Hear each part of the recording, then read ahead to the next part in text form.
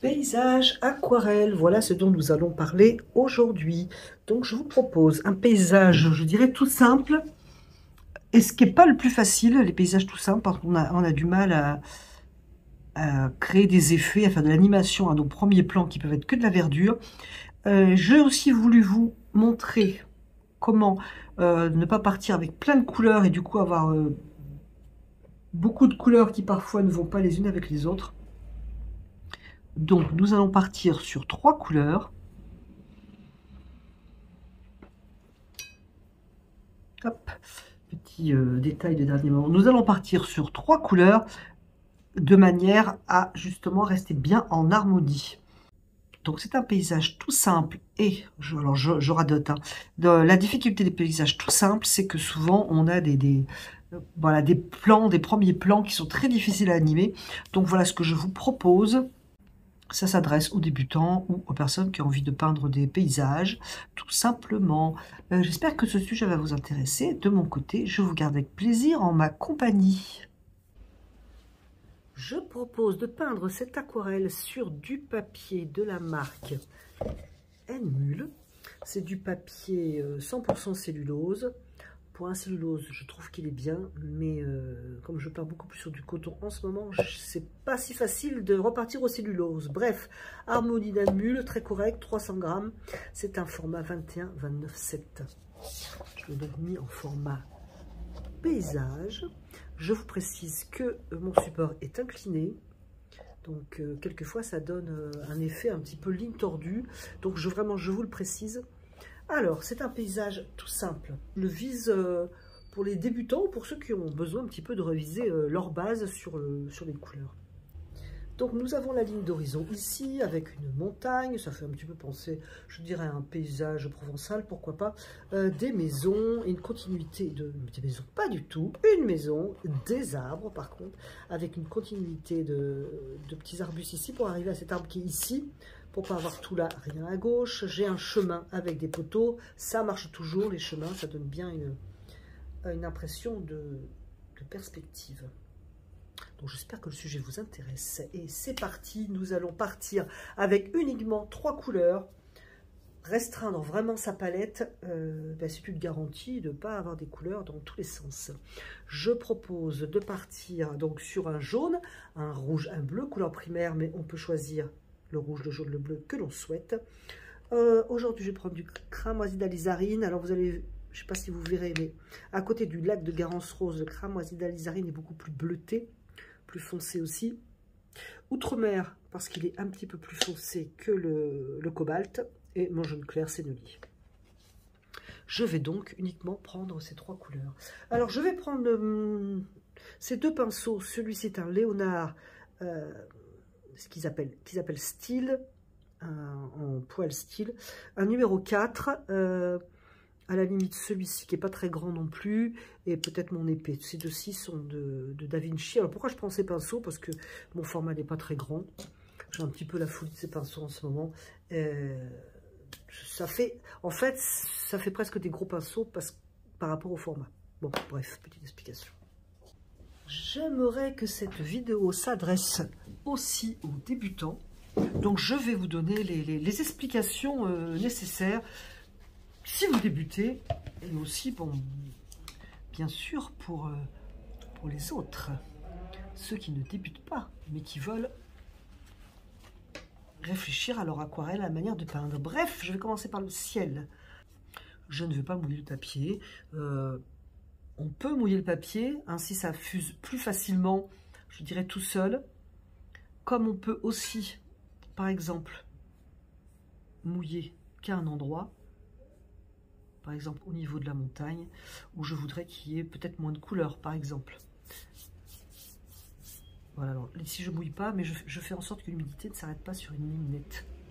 Euh, je vais donc prendre, j'ai dit trois couleurs, donc je vais prendre mon bleu outre-mer, j'espère que je suis en face. Bleu outre-mer, il faut bien sûr, si vous me suivez, vous savez que c'est important, surtout lorsque l'on débute l'aquarelle, bien fluide, mais quand même coloré, pour moi, parce que je voudrais pas avoir un ciel palichon. Euh, je vais lui mettre dans ce ciel une pointe donc de mon rouge qui est ici du cramoisi d'alizarine permanent. Une petite pointe. pour euh, avoir un ciel moins bleu, pour désaturer un peu le bleu. Et euh, la lumière vient de venir plutôt de, plutôt de droite. Bref, allez, c'est parti.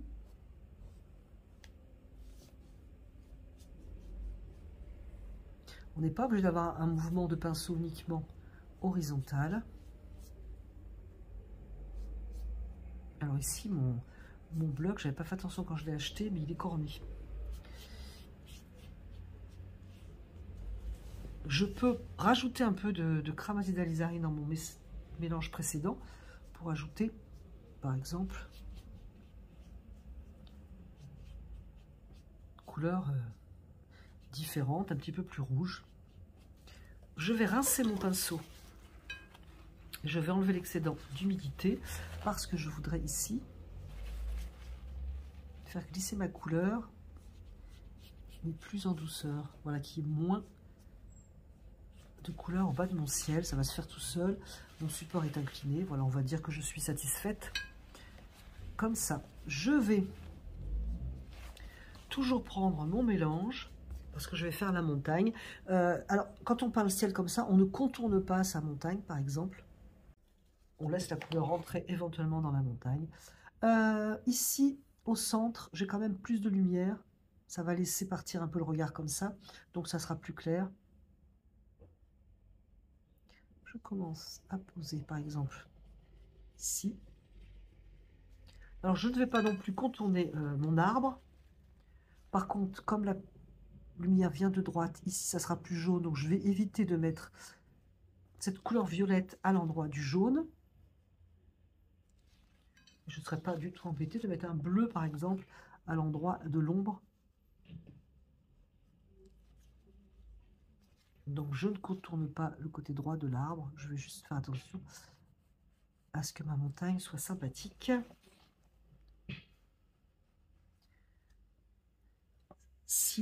Euh, les couleurs se mélangent avec le ciel, ce n'est absolument pas un problème. Au contraire, ça donne une impression de, de fuite à la limite, c'est sympa. Donc, je vais enlever un petit peu de couleur parce que je voudrais que ça reste assez clair au milieu.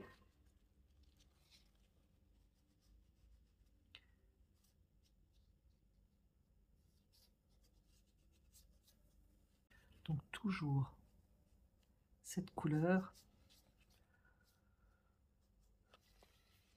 Alors, pour situer, parce que du coup, j'ai eu un, coup de fil, donc ça a légèrement séché. Ça aurait été bien que ce soit encore un petit peu humide. Donc, ce n'est pas le cas, mais je vais en tenir compte je voudrais apporter un peu de vert euh, en bas de la montagne. Pour cela, et du coup, je n'ai pas de vert, vous avez bien compris. Je vais faire un vert avec mon jaune, avec mon bleu outre-mer. Je veux un vert très bleu parce que ça va être pour le lointain. Et donc, je voudrais apporter un petit peu de vert. Si ça avait été euh, plus mouillé dans ma montagne, ça se serait dilué tout seul, c'était pas plus mal. Mais je peux aussi le diluer avec un pinceau ou avec la couleur de la montagne.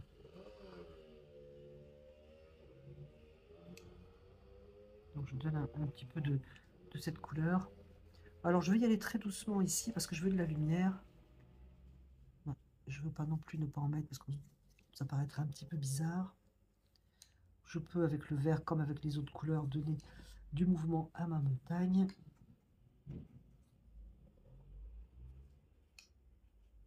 Voilà, ça apporte un petit peu de, couleur. je ne mets pas trop haut parce que on voit pas tant que ça le vert au lointain. Euh, ici, j'ai un arbre, je ne sais plus trop où il est.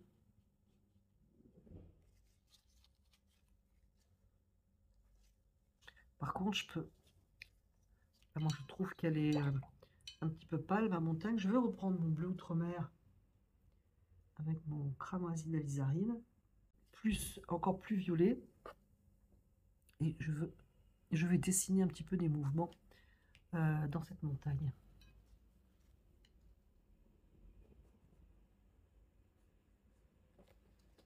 Soit assez rouge, soit assez bleu.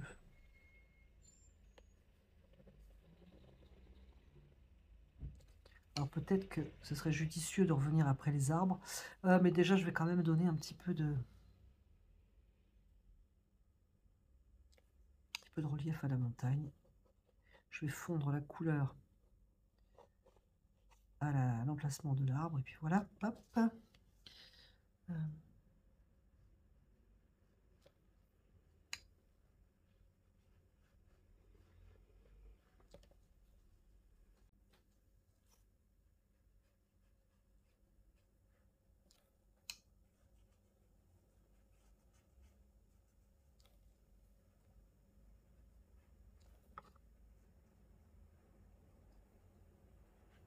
Et là, de toute façon, euh, cette montagne qui est assez loin, déjà, elle va être plus claire et plus bleue.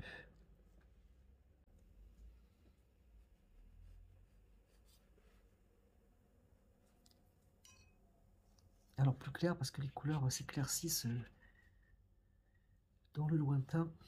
Voilà.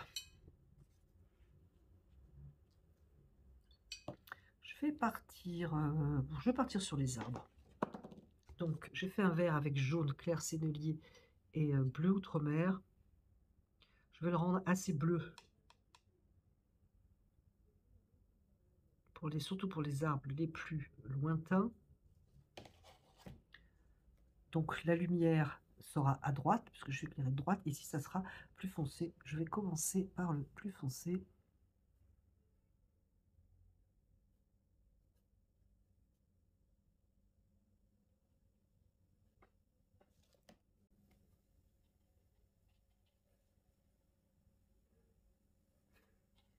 Plus clair. Donc on peut faire des graphismes arbres ou au contraire plus les fondre, hein, ça dépend de ce qu'on veut faire. Voilà. Alors attention de ne pas faire jaune d'un côté et bleu de l'autre. Il hein. faut faire circuler les couleurs quand même. Pour cela, je vais aussi apporter un petit peu de vert jaune sur mon côté dans l'ombre. Voilà. Euh, j'ai un autre arbre ici.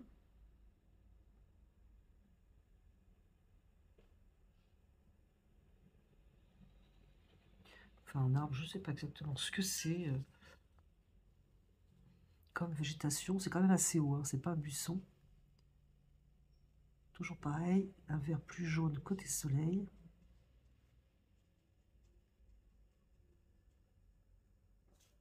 Voilà. Si je trouve que j'ai été un petit peu clair par endroit, je peux venir redéposer de la couleur. Mais à noter que le fait euh, que j'ai que trois couleurs, je peux euh, difficilement faire euh, des erreurs en fait de couleurs.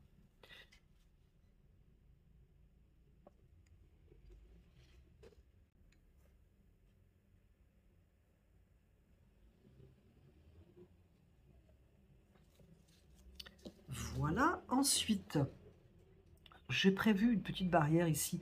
Euh, disons plutôt que ça va être quelque chose qui va rester bleu, clair, voilà. Alors, je vais faire, ici j'ai des petits arbustes.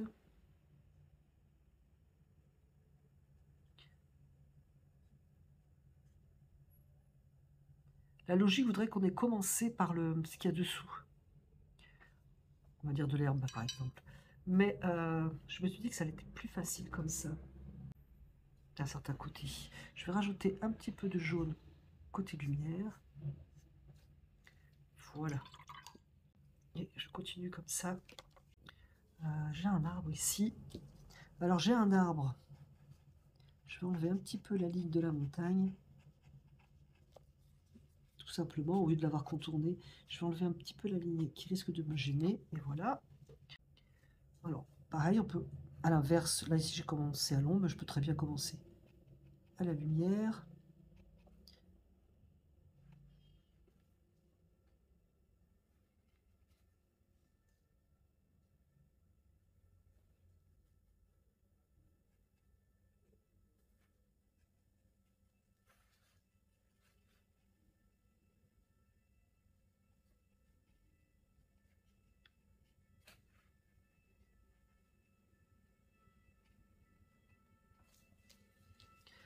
Je vais directement euh, d'ailleurs faire le tronc de l'arbre. Ça évitera d'apporter un tronc, euh, par exemple marron. On se demanderait ce que vient faire cette couleur. Euh, et alors, j'ai des un peu de verdure ici pour faire le lien entre ma verdure de mes arbres, etc. Donc, je vois plus trop ce que j'ai dessiné, mais dans l'idée, j'ai de la verdure ici.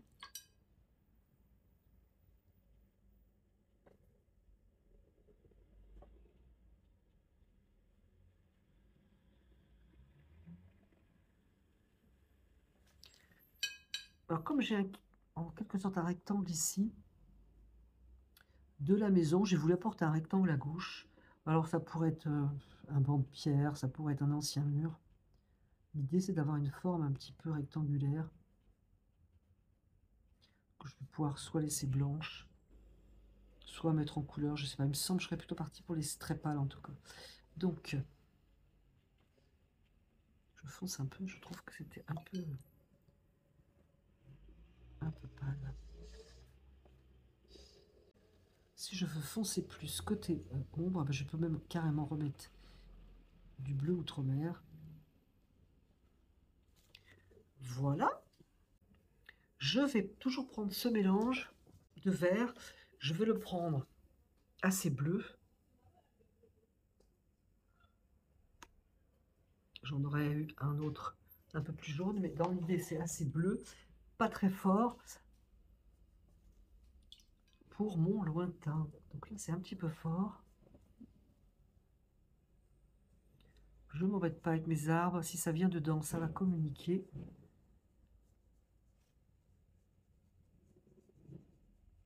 Encore une fois, c'est à l'inverse des choses. Hein. Normalement, on pose le fond d'abord. Euh, mais je suis en train de me demander, voilà, si c'est pas plus facile comme ça.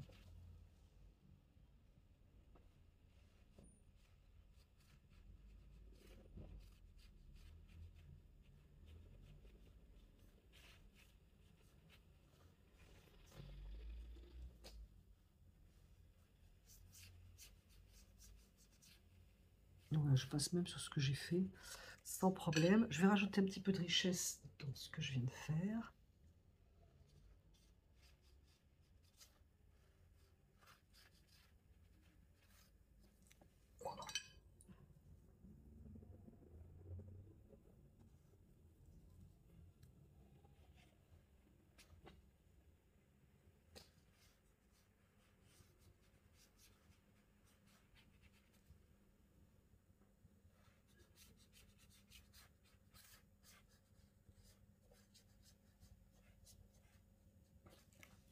Alors du coup, ici j'ai, donc comme je disais, des espèces de petits rectangles.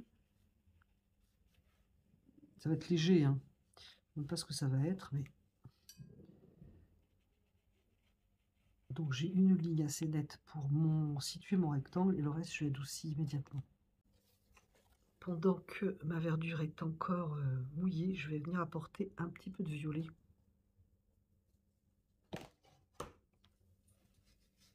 Dans cette verdure. Déjà, un pour la cohésion, pas qu'il y ait que du violet dans, la montagne. Ça apporte de la richesse. J'adoucis un petit peu ici parce que j'ai de la lumière et j'adoucis un petit peu la ligne aussi pour pas que ce soit trop net. Je vais prendre le plus gros des pinceaux que j'ai sortis. Euh, toujours donc le jaune clair sénelier. Je vais faire un vert pour commencer. Je sais pas si je suis en face.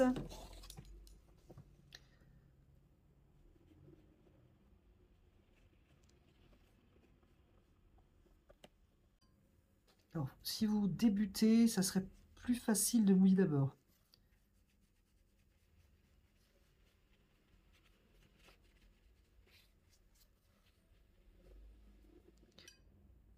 Le chemin sera assez clair.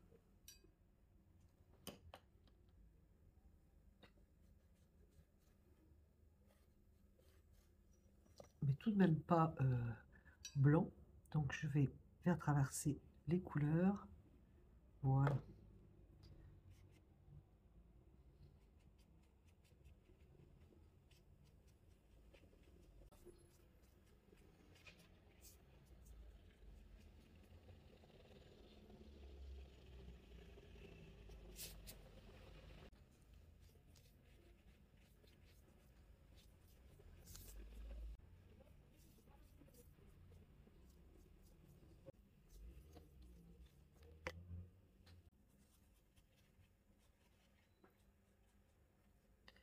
Euh, voilà, mon chemin était là, c'est pas grave. Hop, on peut l'enlever d'un coup de pinceau ou d'autre chose.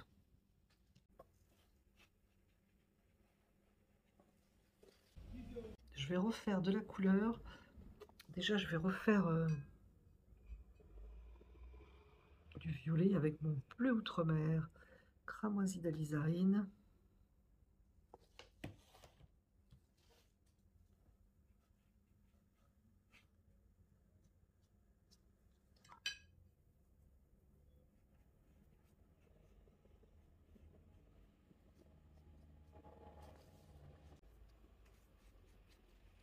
Je vais un petit peu faire traverser les couleurs, au moins par endroit, pour pas avoir une aquarelle coupée en deux. La base est à peu près posée. Euh, j'ai quand même la maison, faudrait pas que je l'oublie. Euh, la lumière vient, donc j'ai dit de droite. Je vais prendre du jaune clair seignelier. Je vais mettre mon, donc mon cramoisi d'alizarine. Et je vais prendre le violet ça va me faire une couleur grisée. Si mon format bouge, c'est pénible.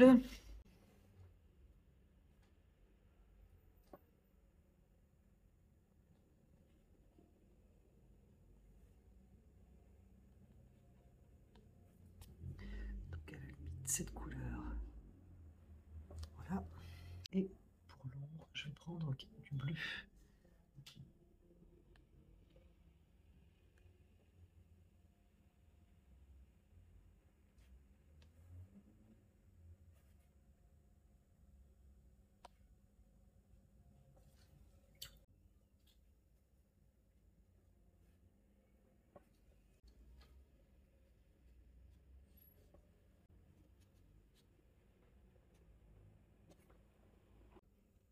Petit peu de relief dans ce champ.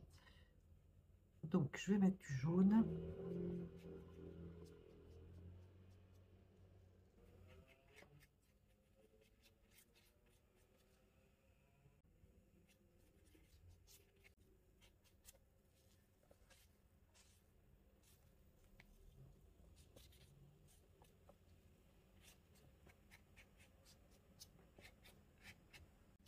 Je vais prendre cramoisi d'alizarine avec du jaune. Faire un petit peu de, de relief.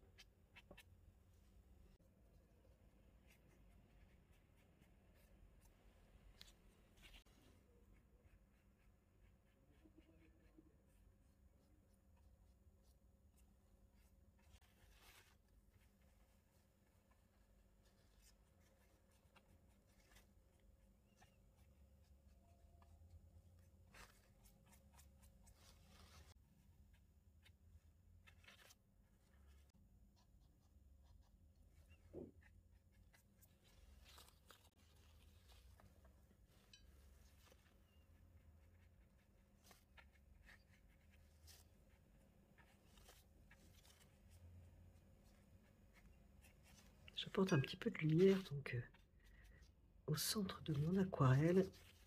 Éventuellement, on peut réouvrir le chemin.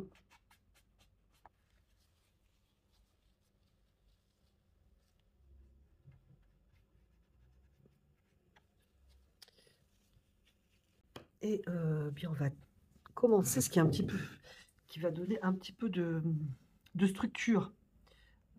Je vais laisser sécher. Alors maintenant, ce qu'il faudrait, c'est que j'apporte du contraste tout de même. Donc, euh, ben, je vais y aller tranquille. Déjà.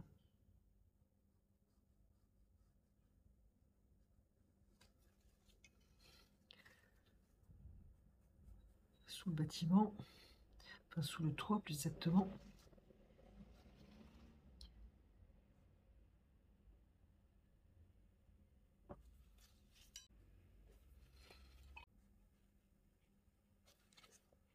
En bas du bâtiment pour l'ancrer un peu. Voilà.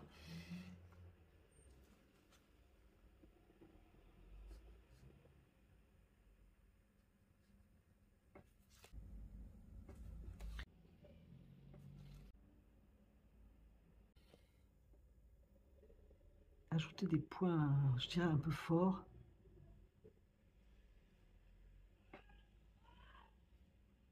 Aussi par contre de la luminosité.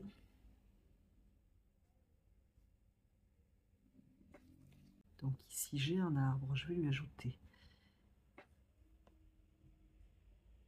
un peu d'ombre, un tronc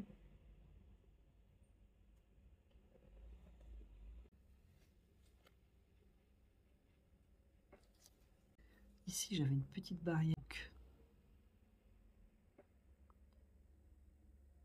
Ou du moins, ça pourrait représenter des cailloux, je ne sais quoi.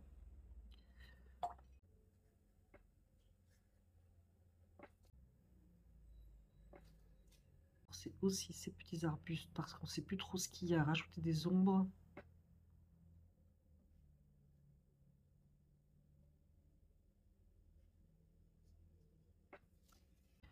rajouter un petit peu aussi de verdure qui courrait, un petit peu pour lier surtout parce que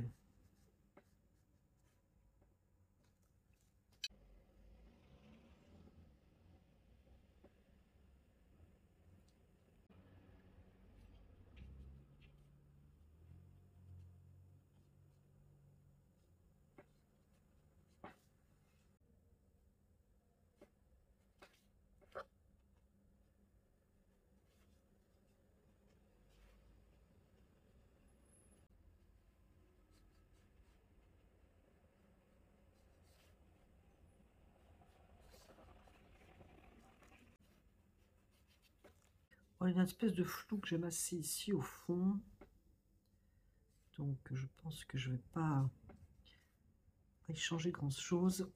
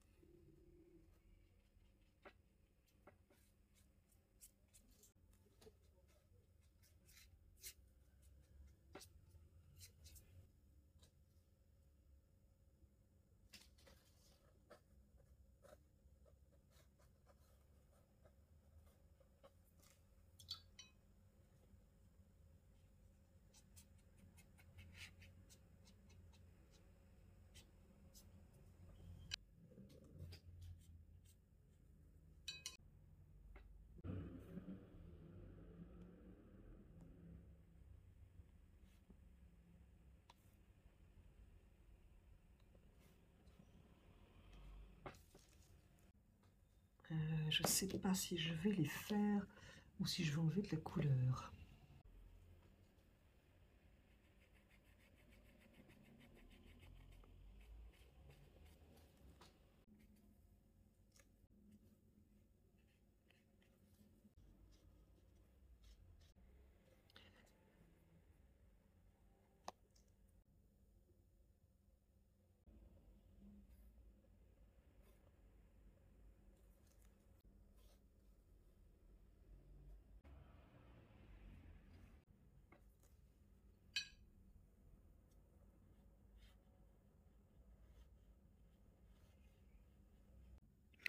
Euh, voilà, je pense que je vais m'arrêter ici. J'espère que j'aurai été assez simple et explicite. Je vous remercie d'avoir regardé écouté cette vidéo et je vous dis bientôt sur la chaîne de Comme de Crayon.